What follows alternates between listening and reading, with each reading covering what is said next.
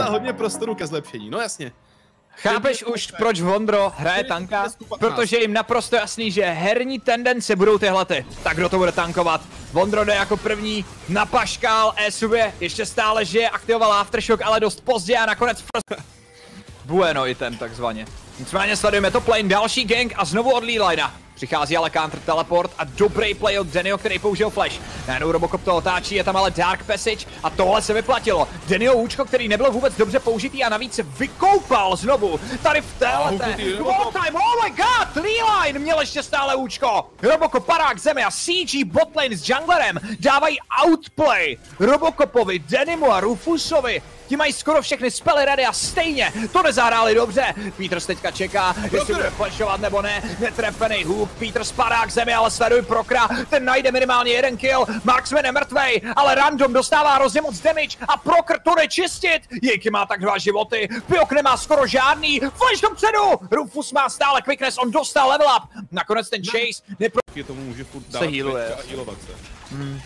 Je tam víc věcí, Blood time na pouk, na Denio. Nicméně přichází engage, je tam flash ale.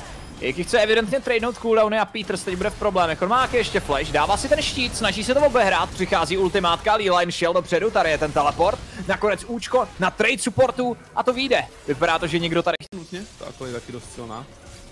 Záleželo by hodně na exekuci, na tom, kdo koho čím trefí, že jo?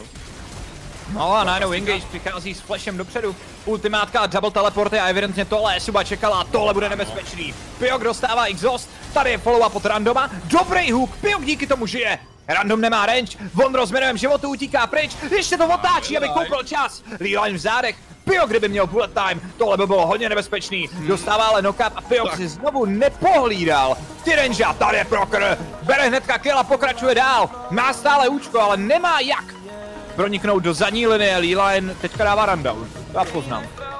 Tohle to si Piok ani Lin... Má jen málem, dostal ještě tu hit, přichází tedy vyvolaný Herald na midlane. Sná o to otevřít fight a to bude úspěšný, Peter se nechává odchytit. Chyba, Velká chyba, najednou pro krve fightu. Možná vyhledá randoma, tady přichází ten root, on to nakonec stavuje zpátky, skáče pro to, aby sebral kill. A tady je ten bullet time, který vyhání trojici hráčů a vyzouní je pryč od toho. Tempo. Mně se líbí jak Prokr, vždycky, oh my god, výborně, výborně hoši. To, co tam předvedli, výborně. Ten follow-up toho crowd controlu, chudák Jejky. Co? Random umírá jedna ve jedna, dostává Oli, no tak ale ta pokračuje dál, Leeline mu musí nadběhnout.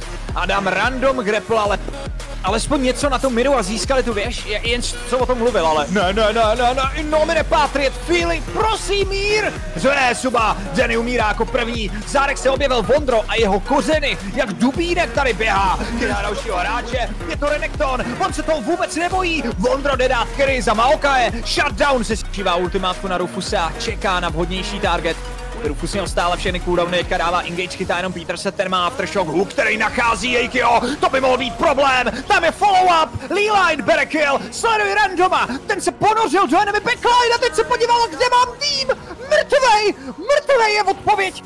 Random tam šel, jo, jdeme fightit, jdeme fightit, zničíme je a najednou prostě teamfight byl uh, over ještě předtím, než vlastně začal. Díky dobře provedeným odchytům. No a znovu Proker tady našel nějaký oh způsob na Renektona.